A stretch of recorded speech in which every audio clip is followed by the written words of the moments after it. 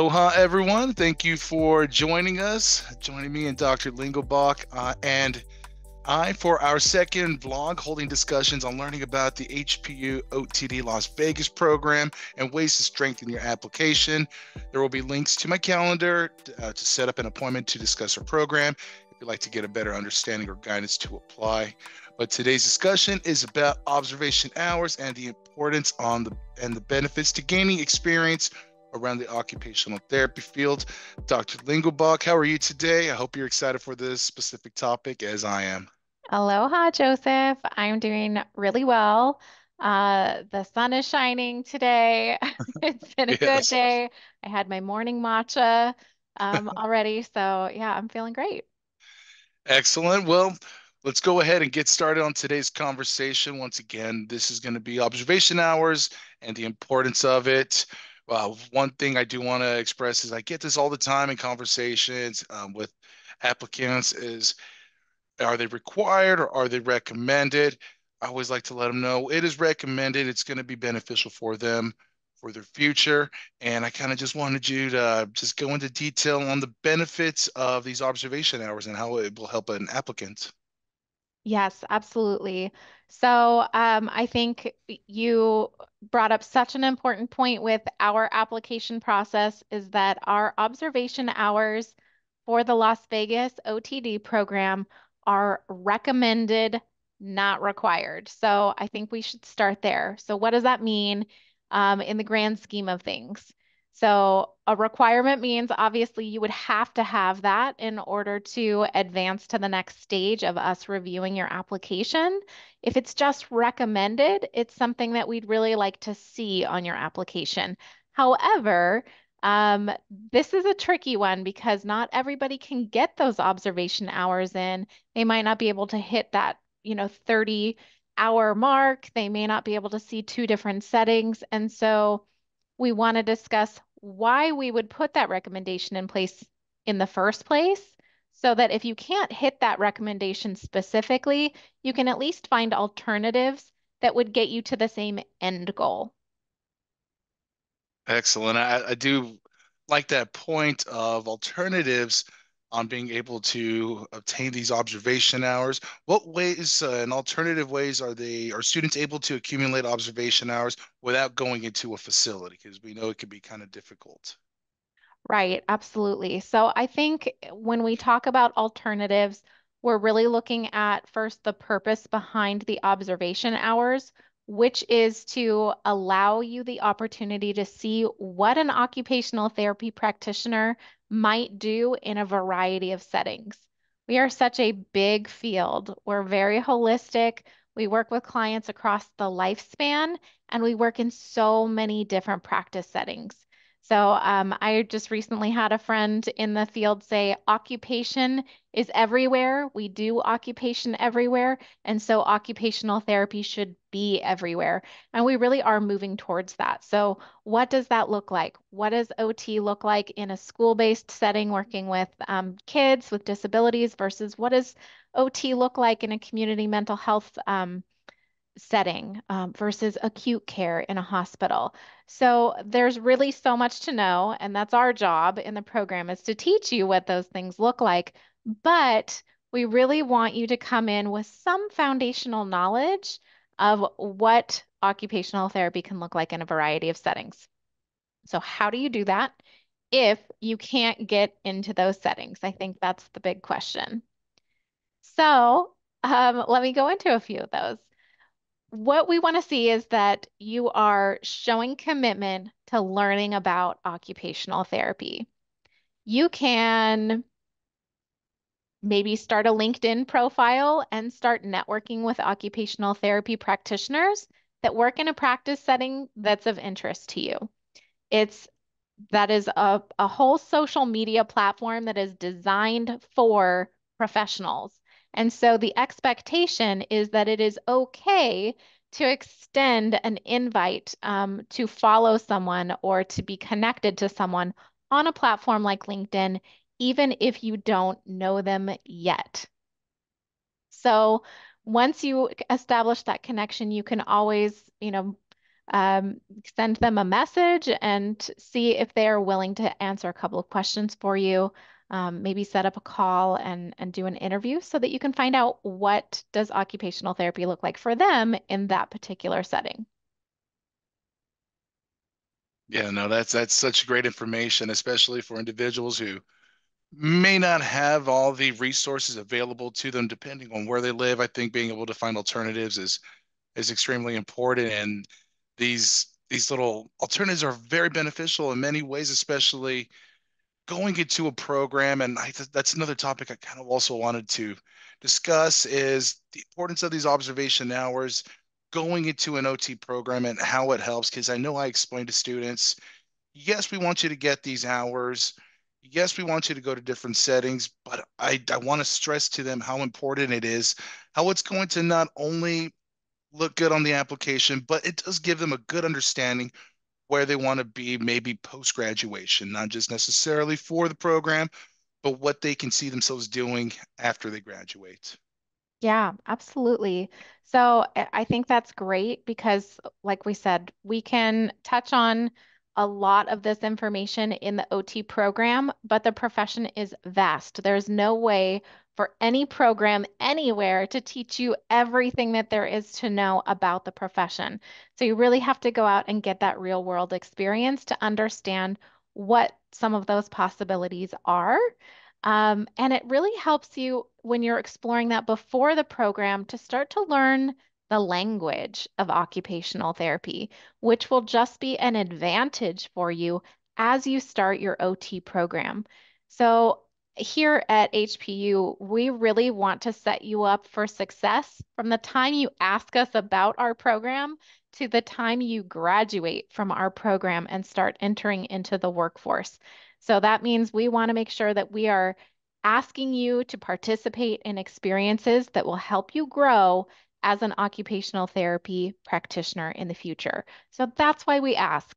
Um, the reason, another reason that I want to bring up why it's not a recommendation is because it's so hard to get those observation hours now. It was always hard before, but when COVID hit, um, new regulations uh, came out and facilities really um, kind of starting to, to tighten up on who they allowed in the doors for just casual shadowing hours. So you may be able to get an opportunity as like a long-term volunteer at a facility and be able to witness um, what occupational therapy might look like in that setting, but those positions are really kind of few and far between. So I think we should talk about a few more alternatives to what those observation hours could look like. So first of all, um, we talked about the LinkedIn profile and maybe just interviewing an occupational therapy practitioner in a setting that's of interest to you. You could also go to um, the American Occupational Therapy Association website and see what their publications are. They put out two major publications um, that are typically of good uh, high interest for students, including the American Journal of Occupational Therapy, which tends to have more research-based articles. Um, and then we also have OT Practice Magazine. And OT Practice Magazine has a little bit more accessible special interest pieces about what sort of unique things are happening in the occupational therapy profession around the country. So reading up on occupational therapy in different settings can also start to give you that foundational knowledge. Another suggestion is that there are actually digital shadowing hours out there. So there are a couple of companies out there that have started doing virtual um, synchronous and some asynchronous shadowing hours with an occupational therapy practitioner. Typically, those do come at a cost, so they may not be accessible to everyone, but it's at least an option that's out there and they can count towards your shadowing hours. Absolutely. No, that's excellent advice. I also um, did want to bring up, you've mentioned it before in a webinar.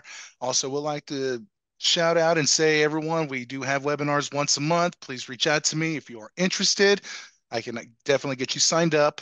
But you've mentioned in a webinar before how going into your undergraduate degree, you didn't have a degree particular leading to occupational therapy. And once you got into those observation hours, what made you really decide that OT was the field you wanted to become passionate Yeah, I thanks for um for bringing that up. It's it really is kind of a fun fun background, but it's certainly not unique per se in occupational therapy. Even though we are considered a healthcare discipline and we do have prerequisite courses that include, you know, sciences and things like that, we really do have a foundation in our profession of arts and creativity. And so my background and my undergraduate degree was in theater. Um, I really thought I was going to be an actor someday. Um, my parents knew better though, so they um, they gently or not so gently made some suggestions um, as I was getting through my bachelor's degree that I might want to look into a more viable career option. Um, and through the urgings of a couple of different people, I kind of landed on occupational therapy because of that nice balance between um, arts and creativity and science. Um, I'm also a highly empathetic person, and so uh, the ability to go into one of the helping professions just made this like the perfect fit for me. Um, funny story is my parents weren't the the first ones to suggest occupational therapy, and they actually didn't suggest that specifically. They just gave me a book that had an aptitude test in there that pointed me in that direction. But the first person I heard about occupational therapy from was the special education teacher at the high school that I attended. So I was part of the Best Buddies program um, which is a really wonderful program that pairs typically developing peers with um, someone with a developmental disability. And so our high school had that program, um, and I got paired up with actually several um, peers that were in the special education program, and we just had so much fun. I just loved getting to know them, and um, and they really did become my friends. And our special education teacher said, You know, you would be a great occupational therapist someday. Oh, thanks. That's so wonderful. Filed it back in the back of my brain and did not come back to that for many, many years. Um, but the first place that I started shadowing in occupational therapy before school was in a school district, um, which I think was inspired by just kind of seeing what it could look like in that setting. So that was a really fun shadowing experience. Well, although you you went into the OT field, but the theater still the theater skills still um, look good. I mean, you, you you do well on camera, especially during our webinar events. You you hold yourself really great. It's so the skills are still there, but it's it's awesome how one little thing could really shift your life. Um, whether it's the aptitude test, that compliment from that teacher. I mean, it's the little things like the little things can make the biggest difference. I So. completely agree. Completely agree. Uh, one thing I also did want to ask you is whenever you initially were getting into the program and then you had graduated, were you set on some type of particular setting and then did it change once you graduated? How did that work for you? Oh gosh, this is a, a something that comes up a lot. I tend to teach um, first year students a lot when when you enter the program. Um, in the last place that I taught, I taught first year students. I'm going to be teaching first year students in this program as well, um, which I'm very excited about because I love this field so much, and it's such a such an opportunity to be able to to kind of catch catch you right when you're coming in um, and share the excitement. Um, throughout my program, which was a master's degree, I became really passionate about working with the military. I was set on working in a military setting, whether I joined as an active duty military person myself, um, or if I was going to be um, a civilian contractor working with active duty military. I really, really was fascinated by that setting. So I was all set to do that.